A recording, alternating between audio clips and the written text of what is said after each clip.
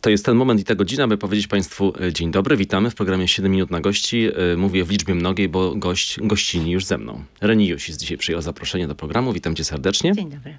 Spotykamy się tak trochę w, świątecznie, można powiedzieć jubileuszowo, bo dzisiaj jubileuszu e, będzie. Szczeknięcie w tle usłyszałem. Witamy No również Brauniego. Mhm. Cześć młody. Chcesz z nami wziąć udział w jubileuszowym wywiadzie? Tak, to jest Brownie, który przyszedł z Reni do studia. Serdecznie także witamy. Nie miałam Fajnie. dzisiaj e, tak e, jakoś sumienia zostawiać samego w domu, więc jesteśmy w duecie. Super. To zaraz wracamy w tym powiększonym gronie do, y, do rozmowy. Bądźcie z nami. Program 7 minut na gości. Reni Jusis, y, przypomnę, ze mną w studiu. Rozpoczynamy pierwsze 7-minutowe spotkanie. To od razu przejdźmy do rzeczy, czyli do, y, jak wspomniałem, tego jubileuszu i do świętowania y, transmisji, czyli retransmisja. Trasa koncertowa, koncerty w kilku polskich miastach. Trasa, która trwa. Już ją rozpoczęliśmy pierwszym koncerciem w Krakowie. E, Zakończymy ją 19 grudnia w Warszawie, w fabryce Norblina, więc też wszystkich serdecznie zapraszamy. W międzyczasie odwiedzimy 8 klubów w całej Polsce. Retransmisja, czyli transmisja 20 lat później. E, I muszę przyznać, że nie jestem skora do obchodzenia jakichś ju- jubileuszy. Lubię koncentrować się na tym, co tu i teraz, planować przyszłość. Natomiast mam takie wrażenie, że ta płyta była bardzo ważna dla moich fanów, dla mojej publiczności i dla mnie też. Myślę, że mm, no nic dwa razy się nie zdarza. Można się ścigać samym ze sobą, chociaż myślę, że nikt tego nie lubi, ale można też po prostu przyznać, że coś się udało. Mhm. I mamy takie nieskromne wrażenie, że, że płyta transmisja wtedy wyprzedzała trochę to, co się działo na rynku muzycznym i do dzisiaj nieźle brzmi. I kiedy teraz podejmowaliśmy decyzje produkcyjne, jak odegrać tę płytę na żywo na koncertach, przyjęliśmy taką zasadę, że nie zmieniamy tam żadnego dźwięku i staramy się odegrać od początku do końca. Rozpoczynamy dziewięciominutowym intro, wynurzam się. To taki naprawdę elektroniczny kawałek, gdzie dopiero mój głos wchodzi w jakiejś czwartej, piątej minucie. I kończymy tytułową transmisją. Mm. No i mamy z tego ogromną frajdę. I e, mam nadzieję, że publiczność też, co na razie udało nam się sprawdzić w Krakowie. Też byłam bardzo ciekawa, e, kto będzie moją publicznością.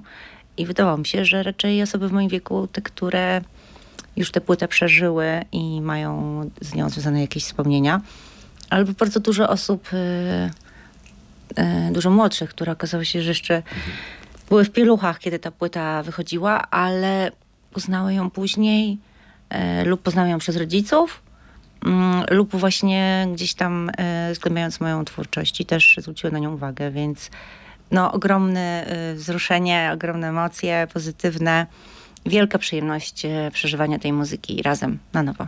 A to jest takie przeżywanie też z myślą o tym, co było wtedy, co było 20 lat temu. Wiem, że nie chcę w, w takie, wiesz, poważne tony tutaj Oczywiście. wchodzić w tej rozmowie, ale, ale pytam o, o te, wtedy też to był wielki sukces. To, to, to, to, to też się działo przecież na Tak, tych wiesz teraz się, się uśmiecham, bo, y, bo zapytałeś osobę, która ma pamięć złotej rybki. Naprawdę. Ja czasem nie pamiętam, co zamówiłam w restauracji.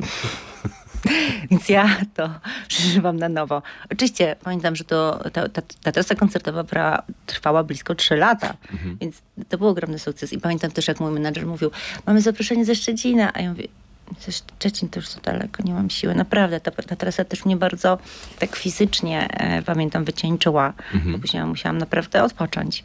Zresztą nagrałam jeszcze płytę Magnes, a potem już płytę akustyczną Iluzjon i zrobiłam sobie 7 lat przerwy. Nie ma się co oszukiwać, to są bardzo intensywne wydarzenia, e, jeśli jakaś płyta okaże się sukcesem. E, więc co jeszcze pamiętam? Ale czy ty pamiętasz coś sprzed 20 lat? Oczywiście, No że, ale no, oczywiście, że pamiętam. Wiesz co, a wiesz co ja pamiętam z tego czasu? Ja pamiętam y, na przykład mojego nauczyciela od angielskiego, który kochał się w tobie. Niewiele starszy chłopak Brownie, ode mnie. słyszysz? Brownie słyszy. Tak było, ale w tobie i w twojej, tw- twojej twórczości. Ja pamiętam zawsze mówię, musimy na tą Reniusis kiedy je, kiedyś jechać. I wiesz, ja, ja miałem tak wbite, bo zresztą przecież też słuchałem wtedy, wiadomo, to były, to były takie rzeczy, które były na topie. Ale na przykład to pamiętam. Y, Wracają do ciebie takie historie sprzed lat? Znaczy te historie uwielbiam wysłuchiwać od, od mojej publiczności. E, Z czym kojarzą się konkretne piosenki? Ja to nazywam taką największą przyjemnością, kiedy zdajesz sobie sprawę, że twoja muzyka jest soundtrackiem do czegoś życia i to mnie zawsze tak wzrusza. Mhm. Mm, Ja zresztą, e, ja też mam takie wspomnienia, może nawet nie związane z płytą transmisję, ale na przykład, że y, tej muzyki słuchałam w danym okresie, ten zapach lubiłam i wtedy, nie wiem, tę herbatę piłam. I mam, mam mnóstwo jakichś skojarzeń z jakimiś ważnymi momentami w życiu, ale jeśli chodzi o transmisję, to myślę, że nikt się z nas tego nie spodziewał, co się wtedy wydarzyło. Po tę płytę poprzedzała płyta elektronika, której za bardzo żadne radio nie chciało grać, mhm. ani telewizja muzyczna. Ta muzyka wtedy jeszcze klubowa była za trudna. I pojechaliśmy w trasę to zresztą opowiadałam na wielu wywiadach, gdzie publiczność nie wiedziała, jak tańczyć. Mhm. I to była płyta przed transmisją.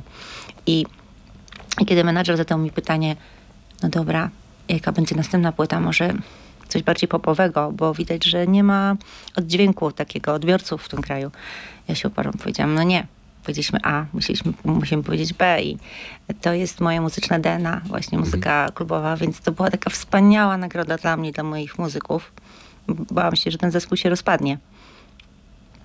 I kiedy pojechaliśmy za dwa lata, powiedzmy, w trasę transmisji, rozpoczęliśmy ją, to były dokładnie te same kluby. Mhm. Tylko, że już była kolejka i ludzie już wiedzieli, gdzie jest raz. No tak. ale, no tak. ale musieliśmy na to zapracować.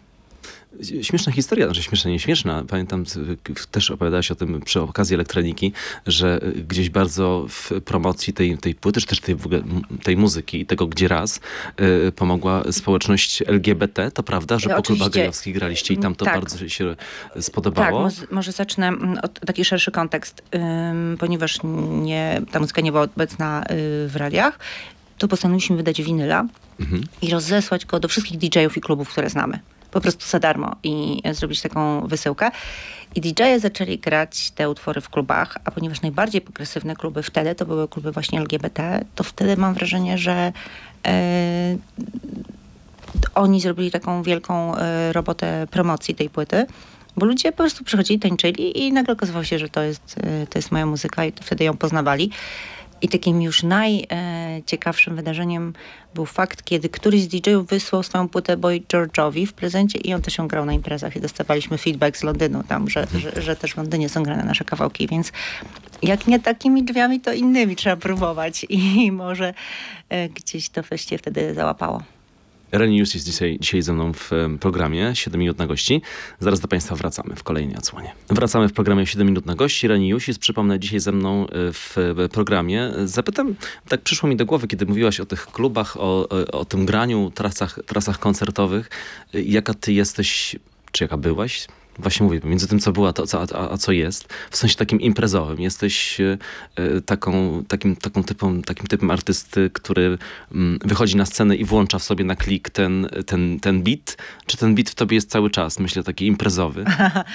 Nie, no oczywiście nie, nie jestem Mickiem Jaggerem z Rolling no. żeby po prostu imprezować e, non-stop przez 20 lat. Jestem też mamą yy, i też mam takie baterie, które się szybko wyczerpują mhm. i nie ma się co oszukiwać. Ale yy, bardzo lubię tańczyć. I dlatego też na przykład gram sety DJ-skie, bo ja wtedy gram muzykę, którą kocham, mogę się przy tym wytańczyć.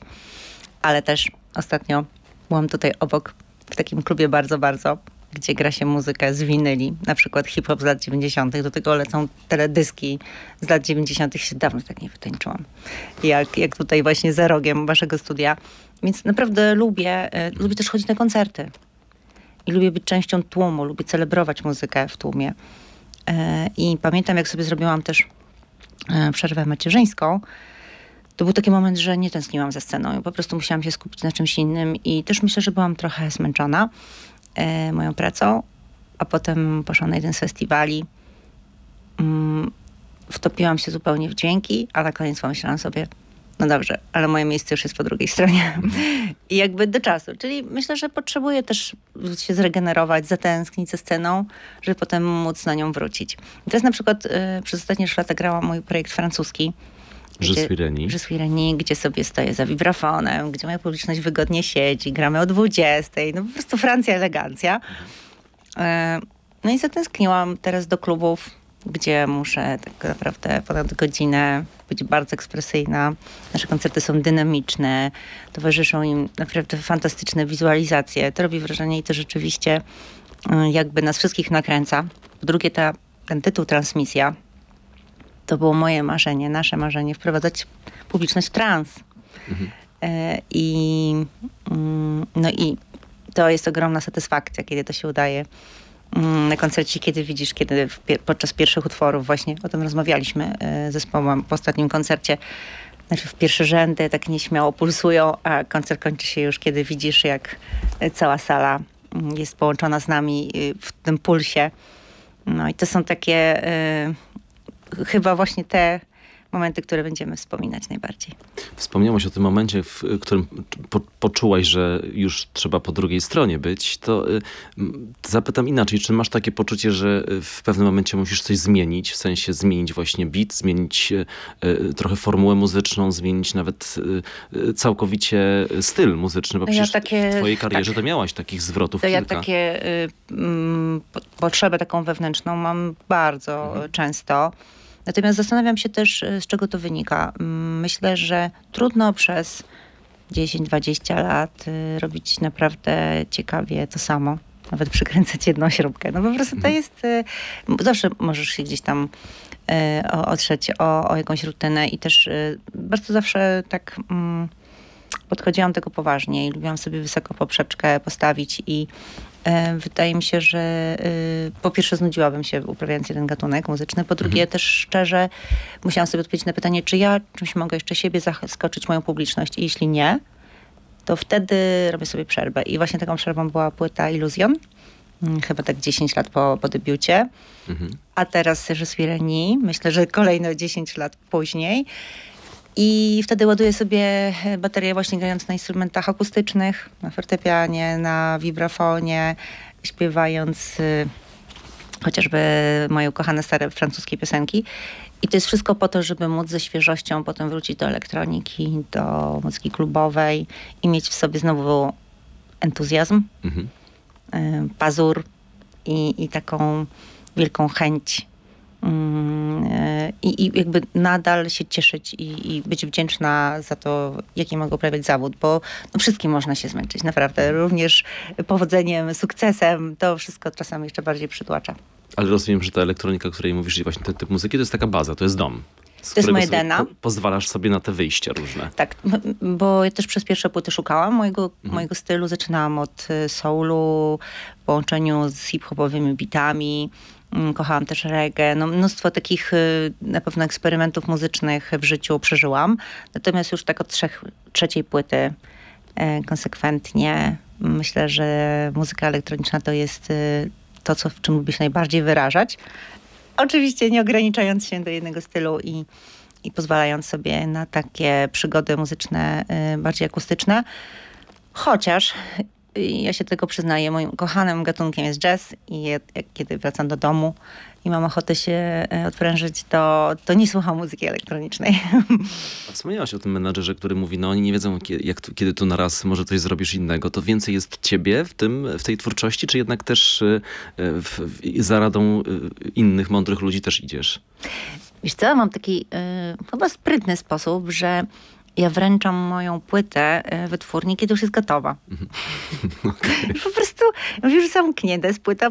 Studio już dawno jest opłacone, już się pożegnałam, nie, nie mam tam powrotu i trochę już wtedy nikt nie ma na to wpływu. I to jest bardzo wygodne dla artysty i, i, na, i, czasami też tak bywa, że wytwórnia nie wie, że ja już nagrywam płytę. No bo dzisiaj nagrywasz ją w małym studio, czasami w domu i na komputer, no tak. więc Czyli kiedyś, ma dyskusji. Kiedyś trzeba było wynająć wielkie studio za jakieś mm. ogromne kwoty z wyprzedzeniem. Teraz po prostu wysyłasz materiał i mówisz, macie jakiś to pomysł? Oni dostają zawały, że teraz zwrot o 180 stopni i znowu. Ale myślę, że też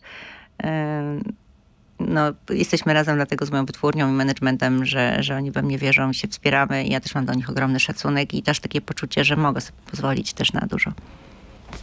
I tak zakończyliśmy te kolejne 7 minut spotkania z Reni Jusis. Bądźcie Państwo z nami, za chwilę wrócimy. Reni Jusis i program 7, nie 8 minut na gości.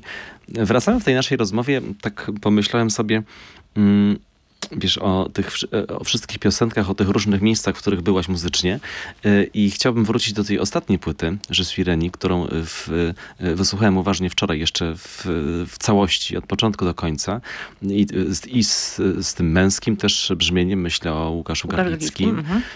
i w, z tego co wiem, to taka twórczość też rodzinno-pandemiczna, tak. prawda? Mhm. Y, co to, jakie miejsce ma dla ciebie ta płyta w twojej twórczości? Bo ona jest już zupełnie inna od pozostałych. Tak, ale mam ogromny sentyment do muzyki francuskiej. Mm, to jest takie trochę, mm, myślę, podróż sentymentalna mojej mamy, mhm. która zaraziła mnie i moją siostrę mm, miłością do popkultury francuskiej. Mm, bardzo podobną sytuację e, przeżył Łukasz Garlicki, którego mama też urodziła się we Francji i też jakby tą, tą całą e, miłość mu przekazała. E, I kiedy rzeczywiście podczas pandemii nie graliśmy koncertów i mało się działo, to wreszcie okazało się, że mam więcej czasu na, na jakiś projekt, który mogę zgłębić i poświęcić mu taką wystarczającą ilość czasu, bo kiedy gramy trasy koncertowe, to czasami nagrywamy te płyty naprawdę dosyć nerwowo w mhm. biegu, a ta płyta do takich nie należy. Musiałam wykonać sporą pracę wcześniej. E, no i wybrałam moje ukochane e, francuskie piosenki. Moja siostra, która mieszka od 15 lat we Francji, bardzo mnie tutaj tym wspierała. Moja mama też podsłuchiwała z radością, co tutaj się mm, e, w tym temacie, jak to się rozwija. I teraz, jak już minęły tak chyba trzy lata, odkąd gramy ten materiał, zdałam sobie sprawę, że to gdzieś tam podświadomie było takie marzenie, aby wreszcie gdzieś móc zinterpretować piosenkę e, Biały Delfin Um, którą mhm. pamiętam z dzieciństwa. I no, trudno byłoby mi tak wyskoczyć z nienacka i powiedzieć, a ja ja wam zaśpiewam taką piosenkę z mojej kochanej kreskówki. A jednak e, znalazłam sobie taką przestrzeń i ją zinterpretowałam i to jest chyba e, fenomenalna kompozycja, którą pamiętam z dzieciństwa nuta mhm. w nutę i, e, i która mnie wzruszała, mimo tego, że absolutnie nie wiedziałam, e, o czym tam jest śpiewane. Ale i ja i moja siostra, kiedy słyszałyśmy tę piosenkę w dzieciństwie, byłyśmy oczarowane, zahipnotyzowane i chyba właśnie e, taką magię mają w sobie francuskie mhm. mm, kompozycje. Oprócz tego śpiewamy sporo polskich przykładów, e, takich francuskich klasycznych chanson. E, też e, śpiewamy sporo utworów mojej kochanej Zaz, na której koncerty mhm. uwielbiam chodzić. I bardzo lubię y, tę muzykę właśnie za możliwość takiej ekspresji. Y, zresztą moimi y, idolkami w dzieciństwie była Mireille Mathieu i, i Edith Piaf i też pamiętam, że na studiach bardzo dużo śpiewałam muzyki francuskiej. Wydawało mi się, że wtedy będę się tym specjalizować. Oczywiście potoczyło się wszystko inaczej, ale um, gdzieś ta gdzieś ten sentyment i, i, i, i ta muzyka zawsze miały takie czułe miejsce w moim sercu. Ale z Edith Piaf mierzyć się nie chcesz? Nie nagrałam żadnej z ich piosenek na moją płytę, bo to jest jednak, wiesz, no, symbol, pomnik i bardzo e, wysokie progi. Ale na koncertach już grał jej piosenki. bo, no wydaje mi się, że taki koncert bez jej kompozycji byłby niepełny. Mhm. A coś zostaje w tych, y, na przykład z takiej płyty, powiedzmy tej płyty francuskiej, zostaje w, w, tobie. Często aktorzy o tym mówią, że kiedy już zagrają tak zupełnie nie, nie, nie po drodze albo coś mhm. zupełnie innego niż z reguły grają, to gdzieś ta w takiej podświadomości pozostaje w, w głowie w coś z tego materiału, coś z tych emocji, coś wiesz, wiesz co się muzyki. wydarzyło mm, podczas grania tych koncertów? Po pierwsze bo grając muzykę elektroniczną, tam czasami są, jest, jest też ciemno i, i my tam mamy taką dramaturgię i zupełnie inne emocje. A tutaj razem z zespołem, po pierwsze jesteśmy uśmiechnięci od pierwszego do ostatniego kawałka, robimy sobie jakieś niesamowite żarty. Bardzo mamy ogromną przyjemność grania tego materiału, natomiast ja się rozgadałam na tych koncertach francuskich i wydaje mi się, że czasami tyle samo gadam, co śpiewam, bo opowiadam kontekst, historię, jakieś y, mm, też y, przytaczam fakty, które przeczytałam w biografiach pewnych francuskich znanych muzyków i, i to wszystko stało się jakimś takim w ogóle szerszym projektem. I, I, bardzo lubimy po prostu ten kontakt z publicznością, gdzie nawet rozmawiamy. Ostatnio była dyskusja właśnie podczas bisów na temat konkretnych utworów, których my jeszcze nie nagraliśmy, ale tam już były zamówienia, więc to jest zupełnie inna mm, przestrzeń, którą udało nam się zgłębić, e, eksplorować. I mamy tego naprawdę, z tego doświadczenia y, o, ogromną frajdę y, i zupełnie inaczej to gramy. Mam zupełnie inny zespół też, taki skład akustyczny. To doświadczenie na pewno mnie, nie wiem czy zmieniło, ale bardzo wzbogaciło kiedy mówisz o tym, że mówisz, y, opowiadasz, to rozumiem, że ta czwarta ściana znika y, i jesteś z tą publicznością. To jest inny rodzaj kontaktu niż to, o czym wspominałaś wcześniej, że wiesz, zaczyna się dziać i zaczyna ten tłum gdzieś falować. Tak. I tam myślę, że jest jakiś dystans mimo wszystko. Nawet w klubach ta odległość, jakieś barierki. Tak. E, I, I rzeczywiście te kluby są dużo większe i nawet my gramy z jakimś takim większym rozmachem, a tutaj w tych koncertach francuskich to jest bardzo, to są małe sale, domy kultury, e, publiczność jest na, czasami na wyciągnięcie ręki, możemy rozmawiać. Mhm. Podczas tych koncertów spokojnie zadawane są mi pytania, komentarze. Jest bardzo intymny kontakt i, yy, i też ktoś mi zada pytanie, czy chciałabym zagrać na stadionie, no bo to jest przecież chyba spełnienie każdego z nas marzeń i te, te koncerty, mhm. te trasy stadionowe dzisiaj są ogromnym sukcesem. Nie wiem, czy potrafiła. Naprawdę. Mhm. To jest jeszcze inny zupełnie gatunek i kaliber.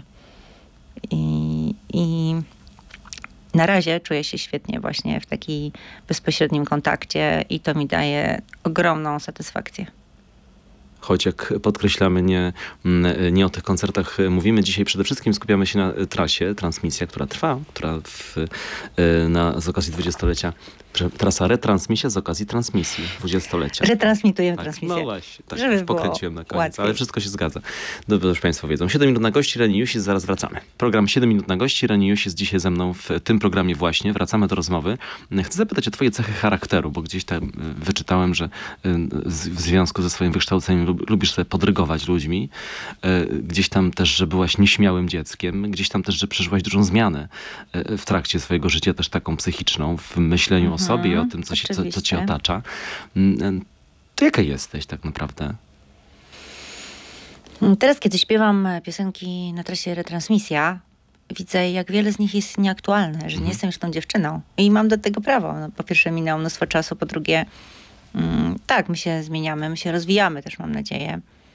Mm, co do dyrykowania, no myślę, że dziewczyna, która ma śmiałość taki zawód wybrać i zazwyczaj i e, naszym moim zespołem są wyłącznie mężczyźni. Czasami miałam też chórzystki dziewczyny. No dobra, moja menadżerka jest dziewczyną, ale jakby otacza mnie czasami naprawdę y, kilka, kilkanaście osób, y, często mężczyzn i muszę nimi też w jakiś sposób zarządzać.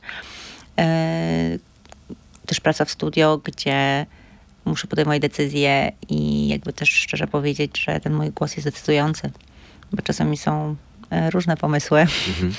A kompromisy nie są dobre, wydaje mi się, w muzyce. W życiu chyba też nie. Czyli tupnąć nogą musisz. Yy, właśnie chyba nie mam takiego charakteru. Lubię yy, yy, dialog, ale też jakby jak sobie ustalisz na początku zasady y, współpracy, no to mhm. jakby jeśli mm, przyjmujesz taką funkcję, nie wiem, executive producer, czyli tej ostatniej osoby, która powie, nie jednak ten track wyłączymy i zagramy bez niego. Mhm. No po prostu musisz ten ciężar decyzji wziąć na siebie. To, to lubię być taką osobą, no bo to są moje płyty. I jakby staram się zawsze być ich producentem. Um, ale też mam ogromną przyjemność pracy z ludźmi. I uwielbiam taką synergię, pracę zespołową. I teraz te emocje, które zagraliśmy już na tym pierwszym koncercie y, retransmisji, no to był nasz, nas wszystkich sukces. Mojego zespołu, ekipy technicznej, twórcy wizualizacji. Po prostu my włożyliśmy w to ogrom pracy, ta grupa ludzi i mieliśmy z tego wszyscy wielką satysfakcję, takie poczucie, mm, że, że te nasze marzenia i, i, taki pomysł śmiały, może to przeżyć jeszcze raz, e, to miało sens i się spełniło. Mm, na ten koncert też przyszedł mój techniczny, z którym gram ponad 20 lat w bluzie z wtyczką. To jest bluza sprzed 20 lat. No, i... Czyli kręci się łezka w oku jednak. Tak, to były, to były naprawdę bardzo wzruszające momenty. Nawet ten pierwszy utwór, Wynurzam się, którym zaczynamy i ja tam wchodzę dopiero po pięciu minutach, kiedy już e, chłopcy grają na scenie. Miałam taki moment y, takiego, wiesz, ściśnięcia w gardle, że nie wiedziałam, czy, czy dam radę rozpocząć punktualnie moją frazę. Y, ale ilekroć są takie trudne momenty na scenie i teraz będzie naprawdę to, nie wiem, czy śmieszne, czy kontrowersyjne, co powiem jak czuję, że, że właśnie jestem bardzo stresowana albo nie pamiętam tekstu, to ja po prostu otwieram usta i niech się dzieje co chce i zazwyczaj coś tam wychodzi. Ale to jest, musisz kiedyś spróbować. Ja na szczęście, w, na szczęście nie, nie, nie muszę, wiesz. Masz dobrą pamięć. No nie chodzi o pamięć, chodzi o śpiewanie, w sensie, że nie muszę śpiewać. Wiesz, a ja tą kartkę. No właśnie, ale na przykład nie, nie wiesz, jakie pytanie zadać tak mm, i lecisz. Ale to prawda, czasami tak bywa. Mhm. No, czasami jakoś tak intuicyjnie to się dzieje. Na żywioł.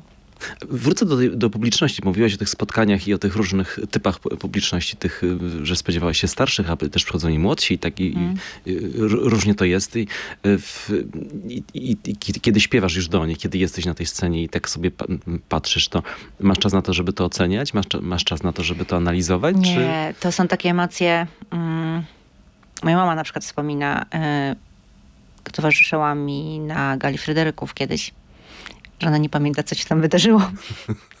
ja mam wiele takich e, koncertów, że ja jeszcze nie wiem do końca, co było po tym, jak weszłam i przed tym, jak zeszłam ze sceny. Więc ten pierwszy koncert w Krakowie z naszej retransmisji był bardzo emocjonalny. Mm. Natomiast ja mam e, też taki zwyczaj podglądania publicznością przed wyjściem na scenę. Bardzo mnie to uspokaja, bo tak trochę się już z nimi poznaję, już trochę tak mniej więcej wiem, kto dzisiaj mnie odwiedził. I to jest y, dla mnie takie, takim balsamem. Mhm. I, a później, wiesz, kiedy wchodzimy na scenę i światła świecą nam bardzo często rytmicznie w oczy, to jest bardzo trudne y, przyglądać się swojej publiczności, ale na pewno mm, są też często ballady, gdzie światła są spokojniejsze. Mhm. I wtedy, kiedy ktoś śpiewa ze mną y, każde słowo tego utworu, to po pierwsze dziękuję mu, że jest moją budką suflera po prostu i ktoś mi podpowiada teksty. I, ale to jest bardzo wzruszające, że właśnie widziałam młodych ludzi, którzy śpiewali całe teksty i, i też wtedy widzisz, które z nimi rezonują. Mhm. Które są jakoś tak bardziej dotyczą i, i, i bardziej emocjonalnie do nich podchodzą. No, a każdy koncert jest inny. Jestem ciekawa kolejnych koncertów. Mhm. A mówisz, mówiłaś o tym rozbujaniu publiczności, to ty też się roz... Nawet nie wiem, jak to, jak to po polsku jest, rozbujujesz. Mhm.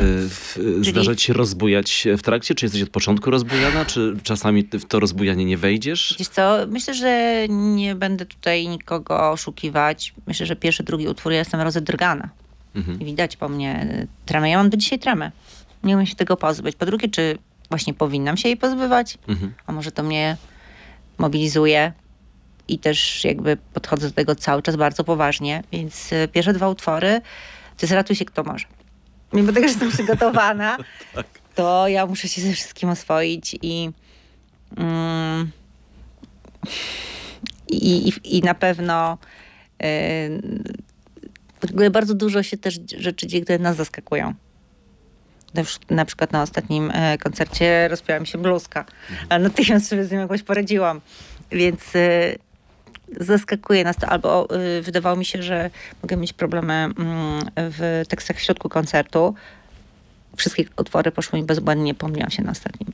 Kiedy już tak poczułam, mhm. świetnie nam poszło, się zdekoncentrowałam i nagle zapomniałam tekstu w ostatnim utworze i roześmiałam się i moja publiczność mi to wybaczyła. Ale dużo się na tyle dzieje emocji, że, że trudno nam nawet tak e, świadomie, wiesz, przeżywać każdy mhm. utwór.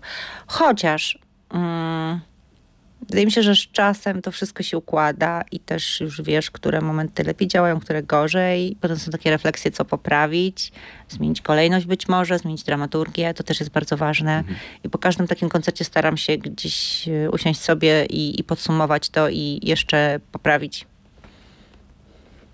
My siedzimy, nic nie poprawiamy, rozmawiamy. Reni jest dzisiaj ze mną w studiu. Do Państwa wrócimy za chwilę. Reni Jusis, dzisiaj w programie 7 minut na gości.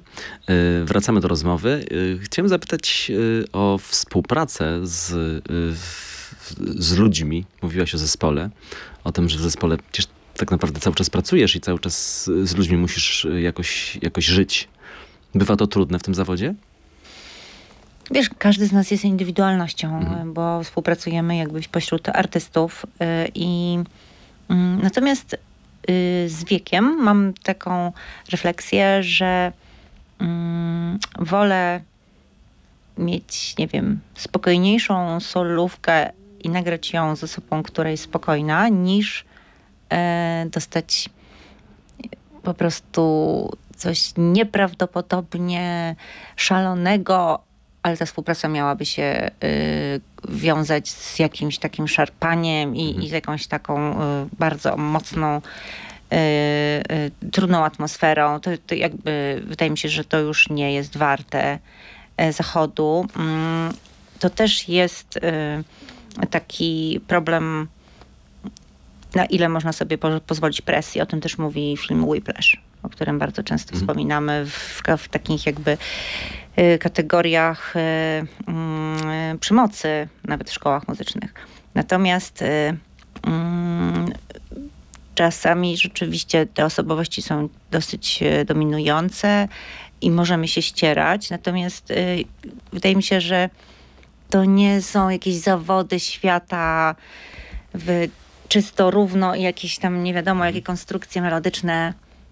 Najważniejsza jest atmosfera. I otaczam się takimi osobami, które po prostu, z którymi mi się fantastycznie współpracuje. Jeśli ktoś mi powiedział, ej, ale ten muzyk może ci nagrać jeszcze lepszą solówkę, tylko wiesz, jest freakiem, to nie, nie, nie, nie potrzebuję takiego numeru telefonu. E, natomiast bardzo lubię zapraszać e, do współpracy też nowe osoby. Teraz e, za kilka dni wyjdą remixy. Mhm. Kiedyś się znajdę właśnie z okazji urodzin e, tego utworu, 20 urodzin. I tam będą przeróżne interpretacje, bo tych remixów też przez ostatnich 20 lat bardzo dużo do mnie napłynęło. Natomiast w tym roku jest jakiś wysyp i to niezwykle cennych. Zaczęło się od Tripsa, który wiosną zrobił swoją wersję w wersji w takim stylu melodic techno. Potem Camp, e, czyli grupa elektroniczna, która od 20 lat też obecna na scenie, przysłała mi taki remix, a dokładnie dwóch członków tej grupy Camp, czyli Bezkres. E, I te, ten utwór tak mi się spodobał, że właśnie nakręciliśmy do niego klip i będziemy go za chwileczkę promować. Potem znów poprosiłam Smolika, żeby zinterpretował e, Kiedyś Cię znajdę po 20 latach, dlatego że zawsze myśl, marzyłam o współpracy z nim, ale gdzieś tam przez ostatnie 20 lat mijaliśmy się na scenach, na trasach. Yy, też na zmianę odbieraliśmy Frederyki w kategorii muzyka elektroniczna, więc cieszę się, że Smolik y, też się y, pochylił nad tym utworem i, i nagrał swoją wersję. Mm, I też upublicznimy wreszcie taką wspaniały remix y, duetu Mod Funk, który jest takim klasycznym house'em. Y, I to wszystkie, te wszystkie współprace były zupełnie inne. Każdy z tych artystów jest, ma, ma swój styl, swój sposób pracy, sposób nagrywania. Y, byłam gościem w studio Smolika, gdzie nagrywaliśmy tak jakby twarzą w twarz, otoczeni jego instrumentami niesamowitą energię ma jego studio. E, natomiast w przyszłym roku chcę jeszcze wydać e, takie wydawnictwo mm, z reworkami utworów transmisji, gdzie inni artyści będą interpretować te utwory. Teraz właśnie kończymy je zbierać, produkować i, i to też będzie ciekawe, jak e, inni artyści, czasami bardzo, bardzo młodzi, też te piosenki inaczej postrzegają. Pomyślałem sobie teraz o tym, czy masz taką świadomość, e, czy myślisz w ogóle o tym, że je, gdzieś jesteś w takiej klasyce, w kanonie. E, no byłam prekursorką e, tego, tego, tego nurtu muzycznego w naszym kraju, więc tak, czuję się czasami, wiesz, że już jakby sporo czasu minęło, natomiast też mam ogromną frajdę obserwowania tego, co się teraz dzieje w muzyce mhm. elektronicznej w Polsce, bo ten gatunek się świetnie rozwijał, rozwinął. I myślę, że jest bardziej popularny niż wtedy. Mm, natomiast każdy z nas ma swój inny styl i to też jest świetne, że, że możemy, mm, każdy z nas może znaleźć swoje miejsce. A zdarza ci się, że traktują cię jako autorytet w tej kwestii?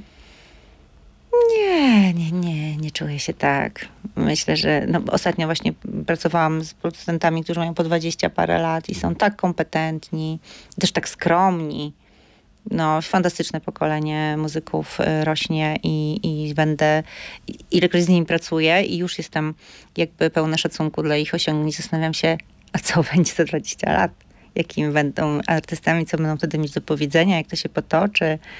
To Super, że to mówisz, bo dużo, dużo w tym studiu nawet padło takich negatywnych y, y, y, słów na temat młodego pokolenia. Też w, w, artystycznym świecie, może niekoniecznie muzycznym, ale takim aktorskim, że ci ludzie już tak y, zupełnie mm, inaczej podchodzą do, do, do życia, do twórczości, do zawsze pracy. tak jest, zawsze tak będzie, że mhm. te młode pokolenia będą miały zupełnie swój inny pogląd. Natomiast ja się wiele uczę od nich. Mhm. Ale myślisz, że masz takie spojrzenie, czy tak, taką wyrozumiałość? Nie, to mnie fascynuje, to mnie inspiruje. I yy, nie wiem, czy to jest cecha mojego charakteru, czy naprawdę po prostu dzieją się ciekawe rzeczy w muzyce. Mhm.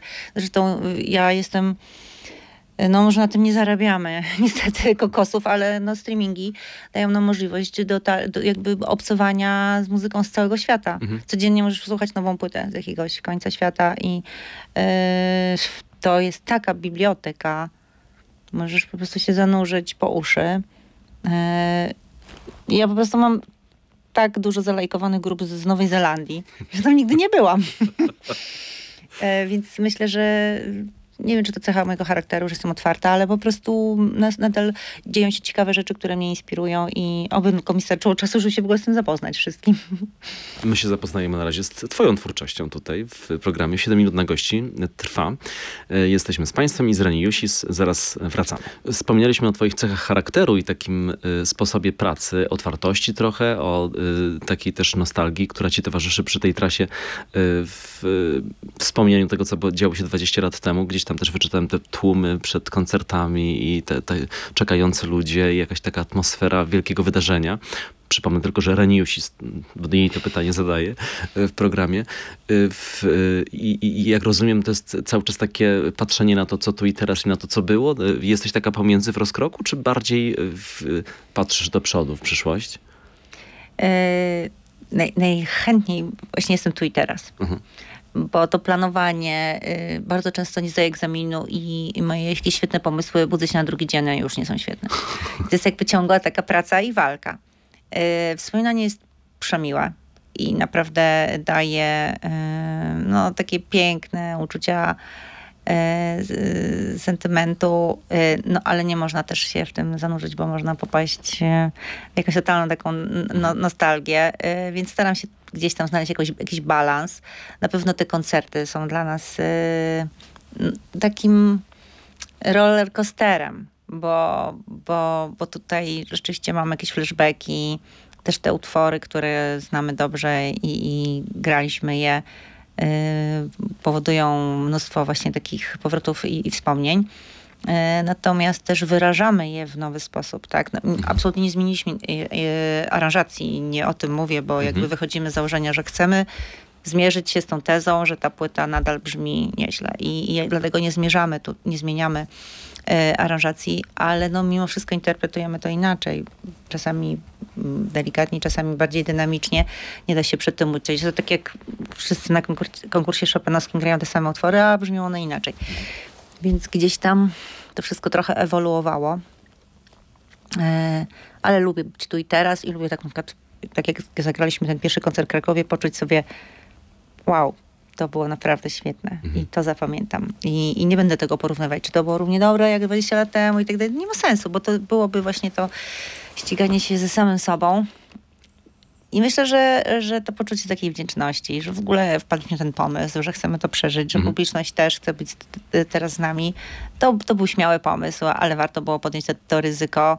Po drugie, no trochę się czujemy, jakbyśmy mieli mhm. urodziny po prostu, bo, bo jednak wszyscy przychodzą, to jest jakieś spianie śmietanki, wszyscy znają dokładnie te piosenki, to nie jest płyta, którą się promuje i musimy tę no pracę tak. wykonać. Ta praca została już wykonana, więc mm, no, jest to na pewno y, dla nas y, ta jubileuszowa trasa takim wyjątkowym przeżyciem.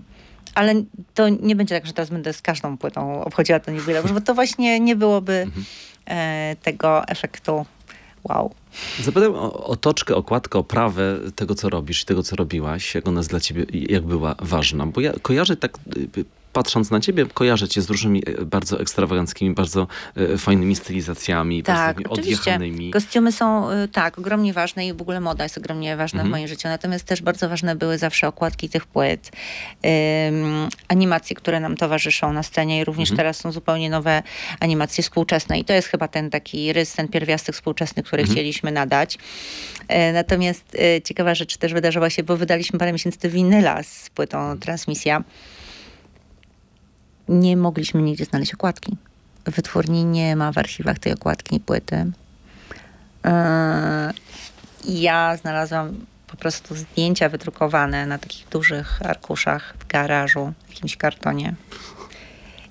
I były tam zdjęcia z tej sesji, ale nie było dokładnie tego ujęcia.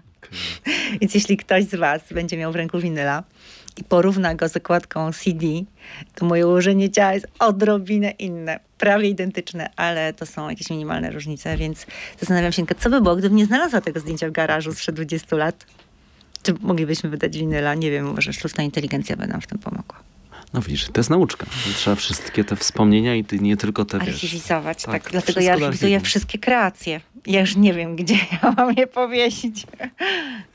A to fajne. Taki, a myślałaś o takim wielkim koncercie, wiesz, wiem, że skoro, przy jubileuszach jesteśmy, że takie, taki benefis albo taki, taki, taka wielka uroczystość, ja się, gdzie ja się zaprezentujesz już z każdej strony. Ja się y, przebieram podczas koncertu y, między utworami i to jest taki stres, że proszę cię, ja bym musiała mieć y, chyba po każdym utworze po prostu przerwę na, na przebiórkę i to jest ogromnie stresujące. Zawsze to robię podczas tras, że się przebieram, mhm. mam różne kostiumy, ale nie chciałbyś być tą osobą, która mi pomaga. Chociaż byłam na takim wspaniałym koncercie Grace Jones mm, w e, sali kongresowej, gdzie ona spóźniła się godzinę, lub nie wiem, czy spóźniła, ale zagrzała koncert z godzinnym opóźnieniem i ona się przebierała bardzo często. I mam wrażenie, że jej garderobiana trzymała mikrofon, kiedy ona się przebierała jeszcze śpiewała naprawdę ponieważ część fraz śpiewała za sceny. I ja myślę, że to już był ten moment przebiórki. Przebiórki. Tak, i ja też ostatnio właśnie tak próbowałam zrobić, ale udało mi się przepaść zanim zaczynam śpiewać. Ale to jest zawsze ogromny stres. Takie kulisy, takie kulisy. A, wy, a za tymi kulisami czasami bywa, że jest płacz, że jest y, jakaś afera, że jest, y, wiesz, jakieś... Ja nie jestem taka drama queen, wiesz, Aha. że myślę, że tak teraz ostatnio właśnie strzeliła mi bluzka, tak zwany strzał z body nastąpił na scenie, to ja po prostu się uśmiałam. Rozbawiło mnie to po prostu ogromnie. Nie jest to dla mnie powód do dramy. E, I mm, nie wiem, co mogło spowodować płacz, czyli wzruszenie. Mhm. Ostatnio, kiedy obejrzałam wizualizację do mojego koncertu po raz pierwszy, po prostu się szczerze rozpłakałam. E, właśnie po pierwszym utworze wynurzam się, kiedy zaczyna się to jedną kroplą, kiedy jest dzień gongu Potem ta woda zaczyna pulsować.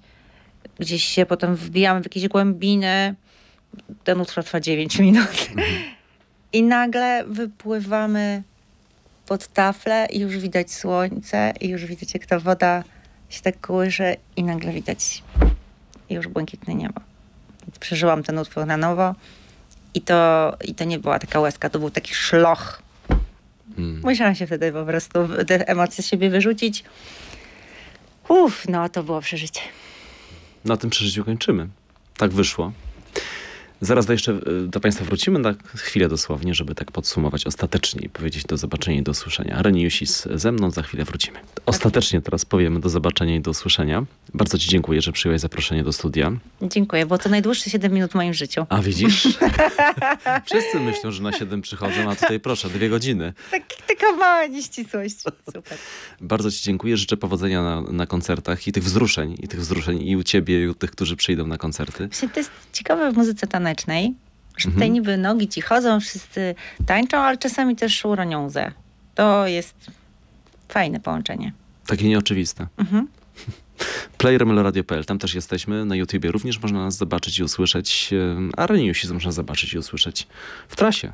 Zapraszamy bardzo, trwa. bardzo gorąco na retransmisję. Wielkie dzięki jeszcze raz. Dziękuję.